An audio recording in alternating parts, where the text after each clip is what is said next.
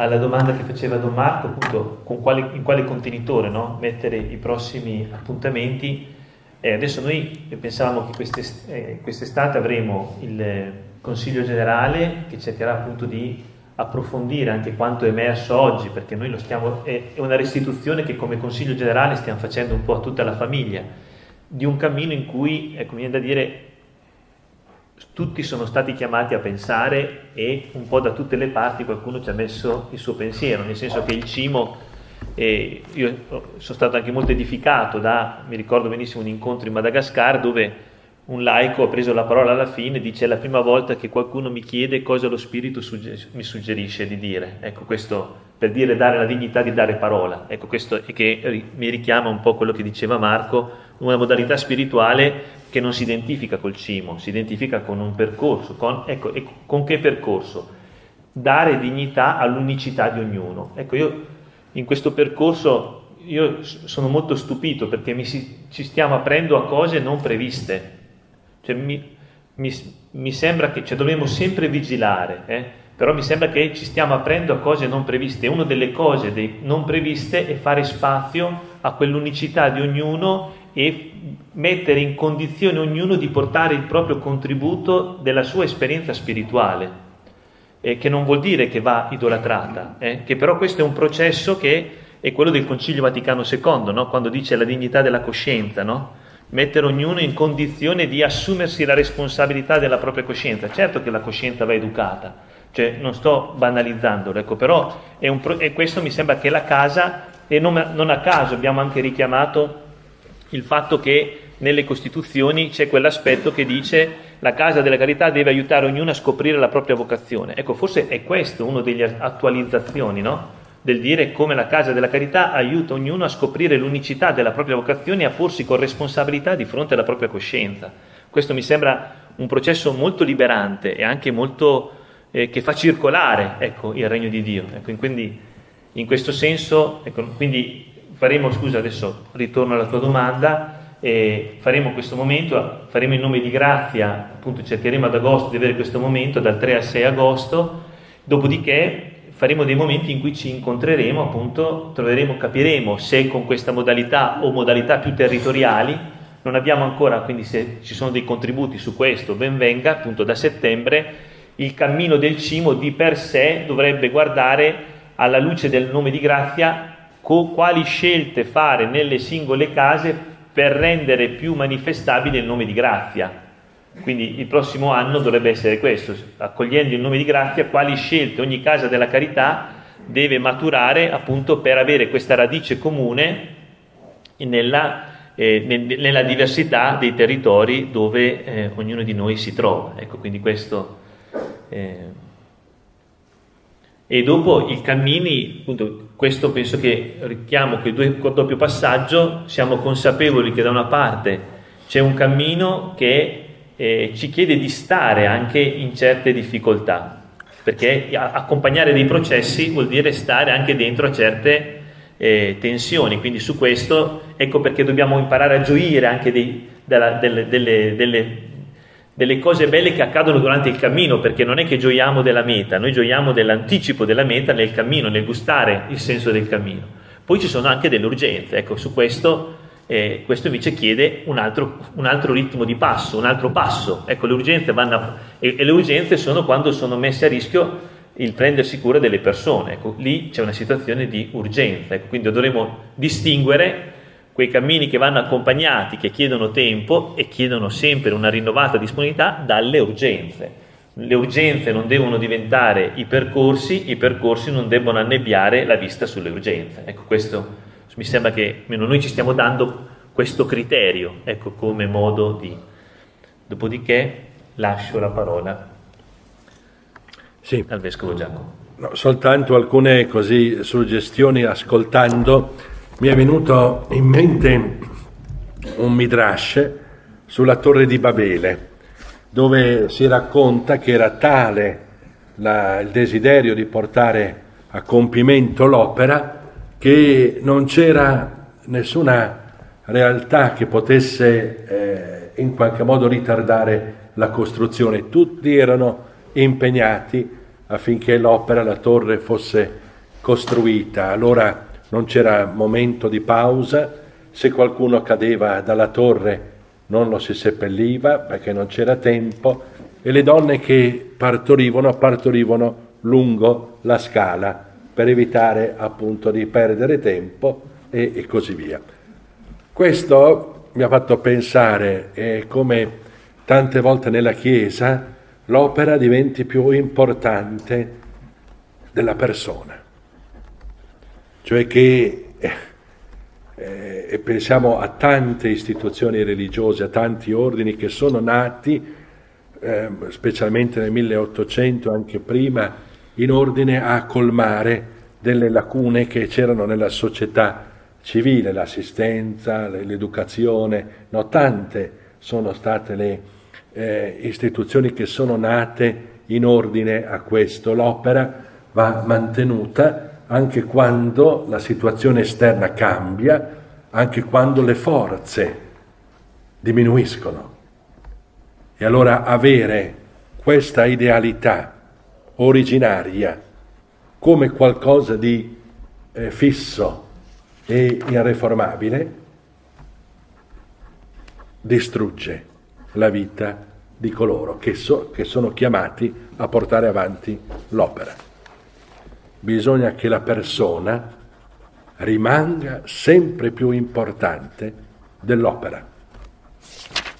Altrimenti noi eh, eh, entriamo dentro a uno scafandro, dentro a un idealismo che distrugge. C'è, vi ricordate quel quadro che ritrae la rivoluzione francese che avanza, penso sia di Lacroix, no? Della Croix. E su che cosa avanza la, la libertà, la fraternità e l'uguaglianza? Sui cadaveri. In nome di idealità grandi, disastri tante volte. E a volte penso che nella nostra eh, visione noi dobbiamo tenere conto di questo, che non è un tradimento delle origini, ma è ciò che lo Spirito dice alla Chiesa, che coloro che sono dentro alle nostre comunità parrocchiali, nelle parrocchie, eccetera, abbiano la consapevolezza che le persone rimangono sempre più importanti. Una volta celebrai una messa, un istituto di suore, subito dopo una di queste è morta, dopo la comunione. Ce lo, dice, ce lo, dice, adesso in questo momento? no, allora viene la consorella e mi dice, sa donna è morta, suora Carlotta. Allora detto, mi dispiace, ma era proprio quella che mi aiutava in cucina.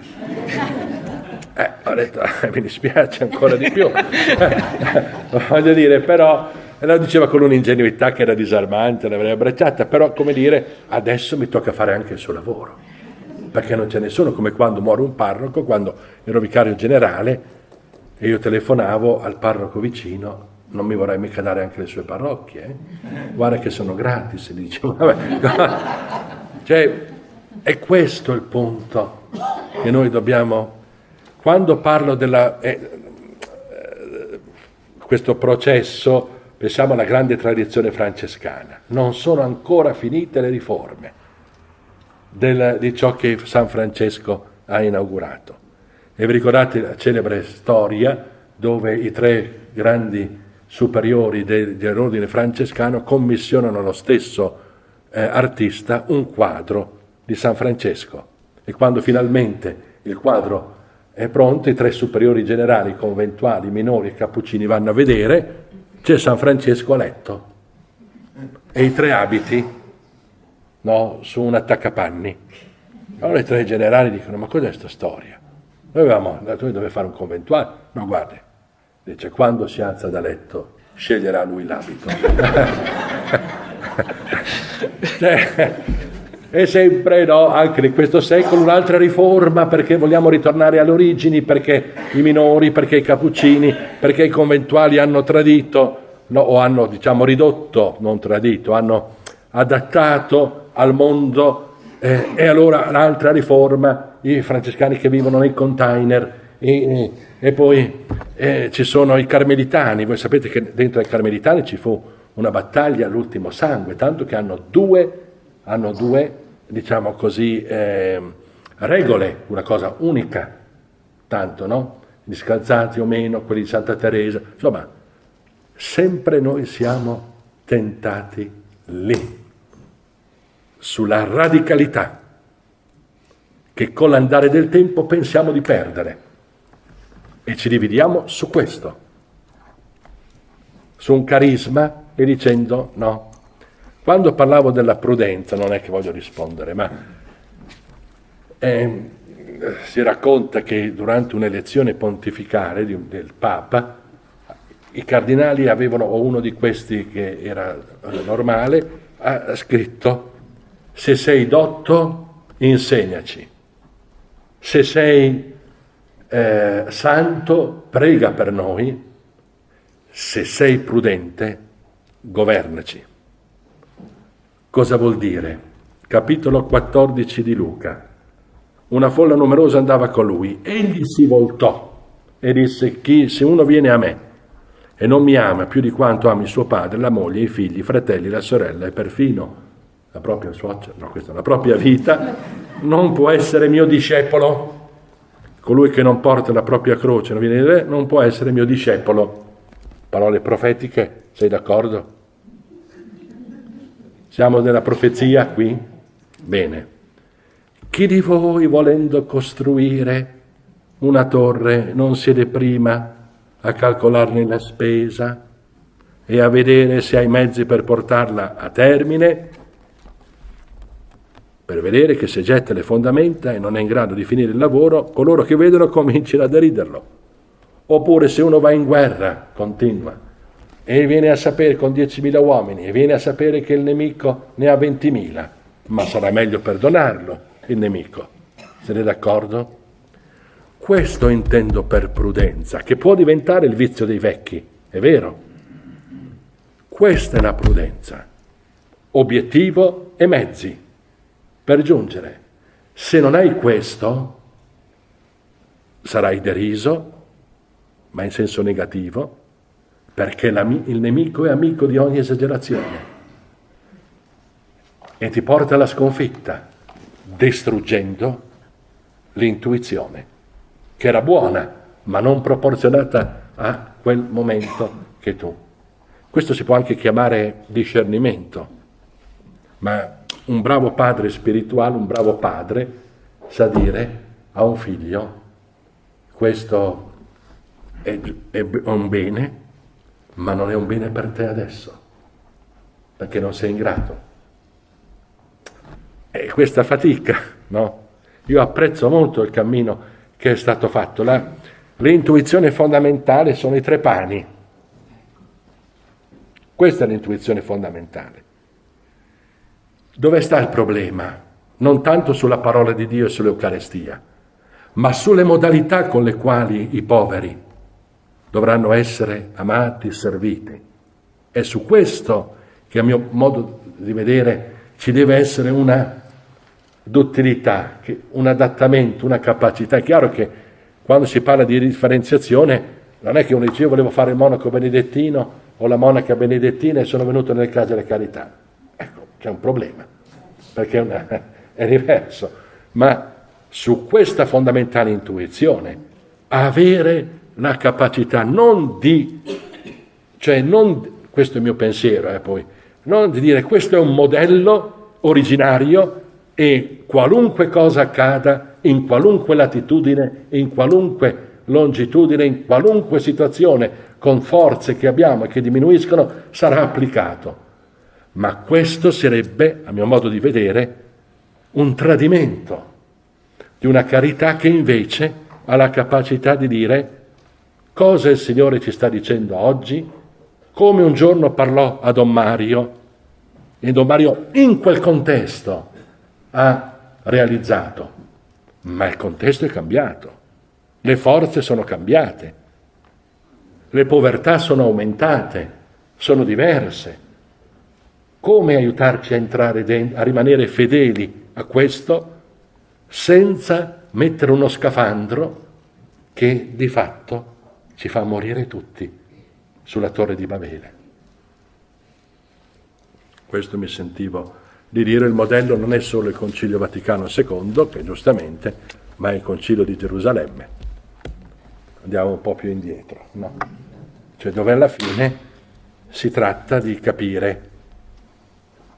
Si diventava credenti con la circoncisione e con l'osservanza della legge e delle prescrizioni alimentari. Si è sempre fatto così perché Mosè c'è e viene annunciato in tutte le, le chiese. Quindi il battesimo nel nome di Gesù Cristo? Ah, c'è anche questo. Sì, questo è il termine di un percorso. Si discute insieme e poi si va, dite gli apostoli, io mi auguro che questo cammino che avete intrapreso possa concludersi come il Concilio di Gerusalemme, cioè con questa espressione lo Spirito Santo e noi abbiamo deciso. Questo secondo me deve essere l'obiettivo e la visione. Lo Spirito Santo e noi abbiamo deciso. Allora sarà una benedizione per voi e per la nostra Chiesa di Reggio Emilia, Guastalla e anche per quelle limitrofe.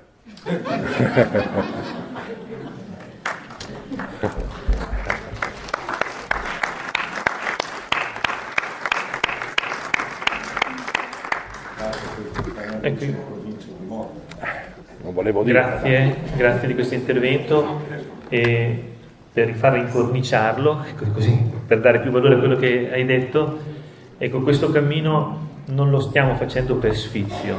Ecco, noi con questo cammino siamo consapevoli che generiamo delle sofferenze, però anche il sistema passato ha generato delle, delle sofferenze. Ecco, credo che questo dobbiamo esserne consapevoli. Non è uno sfizio, è un atto di responsabilità di fronte anche a delle sofferenze che il sistema ha potuto provocare. Quindi in questo senso, per, però per stare al centro di quello che hai detto. Eh? Allora adesso il pranzo non arriva, però dovrebbe arrivare adesso. Ah, ok, volete che qualcuno faccia un miracolo. facciamo un canto però, facciamo un canto di ringraziamento. Eh.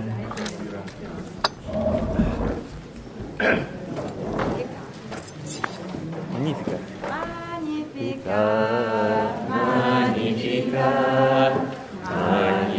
Sancta anima mea Dominum magnificat, magnificat, magnificat anima mea. Magnificat, magnificat, magnificat anima mea.